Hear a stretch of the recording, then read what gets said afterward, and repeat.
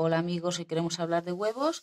Queremos destacaros algunos de los aspectos que nos van a dar sobre la salud de las madres, así como el tema del desarrollo embrionario. Pero antes de nada tendremos que hablar de los huevos. Los huevos están compuestos, la cáscara, entre el 96 y 98% carbonato cálcico. Además, como sabéis, el embrión respira a través de esta cáscara, por lo cual es porosa, suficiente para que pase el oxígeno, pero suficientemente poco porosa el tamaño del poro para que no eh, ataquen los microorganismos al embrión. Hablamos de las palomas. Las palomas van a poner dos huevos por puesta, separados en unas 24 horas el uno del otro, por lo cual siempre vamos a tener dos pichones, uno un poquito más grande que otro. Ya sabéis que las palomas no son como otros animales que van a hacer discriminación entre sus pichones y siempre van a atender igual de bien a los dos. Además, como veis en todos estos huevos que hemos recolectado del palomar para que los veáis, vamos a tener distintos tamaños y formas. En general, de media pesan 14 gramos. ¿Los veis? Podemos tener formas más redondeadas, un poco apepinadas, un poquito más grandes, a veces puede aparecerte incluso algún huevo esporádicamente bastante pequeño, pero en general todos son bastante uniformes. Normalmente los pichones van a nacer a los 18 días de incubación, una incubación que en el caso de las palomas realizan ambos padres. En el caso, por ejemplo, para comparar con las gallinas, el periodo de incubación del huevo sería de 21 días y, como sabéis, solo lo cuida la madre. En relación, por ejemplo, el tamaño del huevo con el ave, pues vemos que el, huevo de la paloma pesa, por ejemplo, 14 gramos el de la gallina en torno a 60-50 gramos según la raza. Y en relación a su tamaño eh, y peso, va a ser tres veces más grande, por ejemplo, el de la paloma que el de la gallina. Cuando nacen los pichones, ya sabéis que en el caso de las palomas, ambos padres van a cuidar de los mismos. Normalmente la madre va a hacer el turno de mañana y el de noche y el padre el de tarde, se van alternando y durante cuatro semanas van a alimentar mínimo a sus pichones. Sin embargo, por ejemplo, los polluelos de gallina, en cuanto salen del huevo, se alimentan por sí mismos y solo los va a cuidar la mamá que les va a dar el calor y proteger.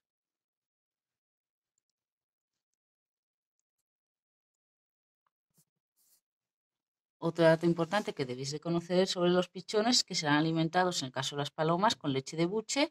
Ya sabéis eh, que la preparan los padres y tiene una alta relación grasa-proteína y por eso tiene uno de los crecimientos más explosivos del reino, del reino animal. Sin embargo, por ejemplo, las gallinas, pues los, los polluelos van a comer lo que vayan encontrando y van a tener un crecimiento bastante más lento. Bueno, pues vamos a ver por qué hemos cambiado estos huevos, diréis, pero bueno, esta gente recolecta huevos, se los come, no.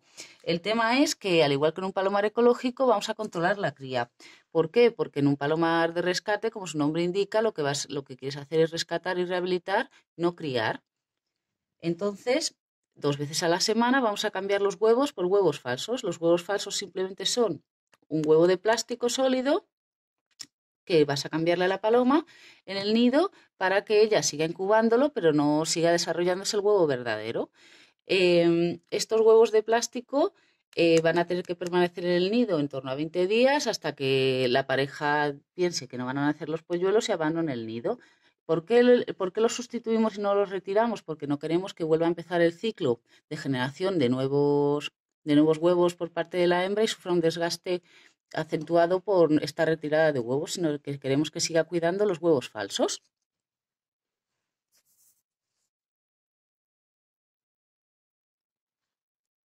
Entonces las palomas van a poner, como hemos dicho, unas tres puestas al año. Palomar pueden poner más, puesto que tienen recursos de todo tipo. Entonces, ¿por qué cambiamos los huevos falsos dos veces a la semana? No es un capricho de, uy, me voy a inventar la frecuencia, no.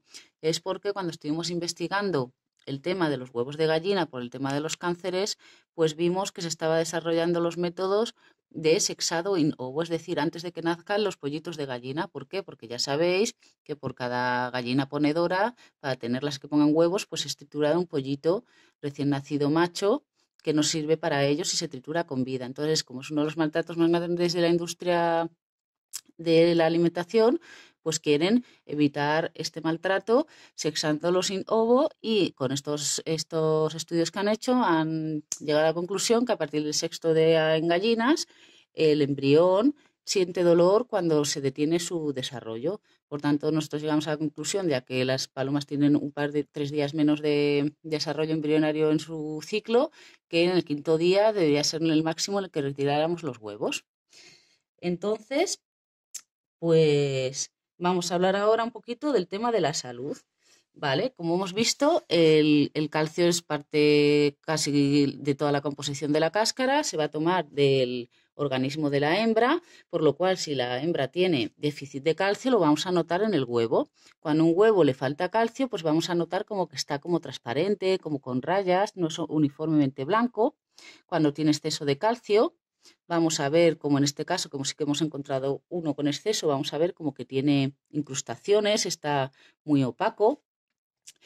Y además, cuando tienen eh, déficit de calcio, también podemos notar que están blandos, eh, bueno, pues cosas raras. Entonces, entonces es fundamental, nosotros no hemos encontrado ninguno con déficit de calcio, eso es un buen síntoma de que tienen minerales suficientes. Tampoco hemos encontrado ninguno, por ejemplo, con, sangre. A veces es verdad que pueden tener un pelín de sangre porque haya causado algo de estrés en los tejidos a su paso por el oviducto, pero en general no causa mayor problema. Y es interesante que los problemas de puesta, pues en general en, palomas no son muy, muy acusados. Nosotros, por ejemplo, de 400 hembras podemos tener un caso anual que además suele ser leve, pues por ejemplo una paresia de un par de días y se recuperan perfectamente solas. Sin embargo, ya sabéis, por ejemplo, en gallinas, que como ponen 300 huevos al año las ponedoras, eh, sufren un desgaste brutal y sí que van a tener unos problemas en general muy graves y muy frecuentes por huevos. Estos son rotura de huevos, huevos atascados, huevos solo con más sin cáscara y los cánceres y demás.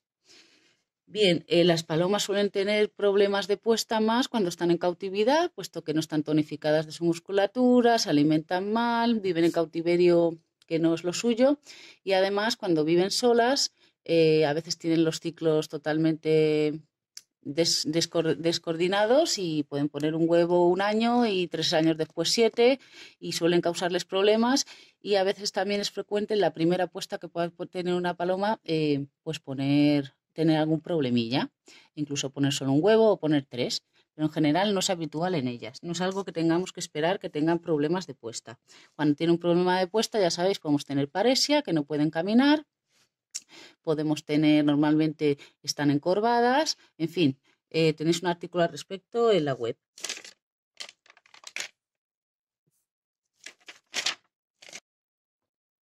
Ahora queríamos hablaros del desarrollo embrionario. En Internet tenéis todo tipo de secuencias, tanto de fotos como de ilustraciones sobre el desarrollo de los embriones. Entonces os recomendamos que les echéis un ojo y os imprimáis alguno para tenerlo en el palomar. ¿Por qué? Porque vais, si queréis, podéis ir comprobando en el palomar cuál es el desarrollo de los huevos que tenéis. Entonces podéis dejaros un esquemita allí para no tener que pensar tanto. Normalmente se imprime el de gallina, que es el que está disponible. En YouTube además tenéis un montón de vídeos en 3D sobre este desarrollo embrionario que es muy bonito. Además nos hemos quedado alucinadas al encontrar unos chinos que han conseguido un desarrollo embrionario sin cáscara. Todo es posible. Y entonces ahora vamos a pasar, ¿cómo vamos a comprobar esto? Pues normalmente se realiza con un ovoscopio, que no es más nada que una fuente de luz para ver a contraluz el, interior del huevo. Se puede utilizar una linterna, el móvil y se suele ver bastante bien. Normalmente, como veis, a partir del segundo o tercer día se empiezan a apreciar los vasos sanguíneos. El del día 5 lo primero que se ve así negrito suele ser el ojo y empieza a desarrollarse el embrión que tiene así como forma de gambita a lo largo del tiempo y enseguida también, en cuanto veamos el, primer movimiento, es el corazón latiendo y bueno, es, es bastante bonito el desarrollo. Vamos a verlo ahora con el ovoscopio. Día 1 podemos apreciar la yema y la cámara de aire que va a ir creciendo a lo largo del desarrollo embrionario, nada más.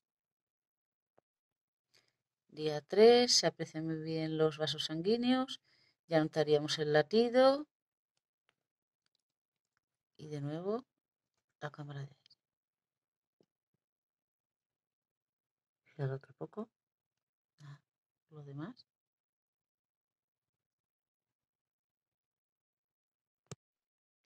En el día 4 ya podéis el puntito, ver que es el, el puntito del ojo que está ahí, la formita de gambita y las terminaciones sanguíneas y de nuevo la cámara de aire.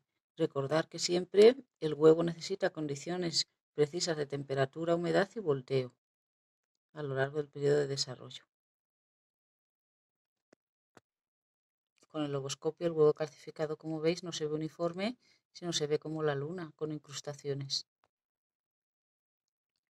El huevo calcificado se ha roto.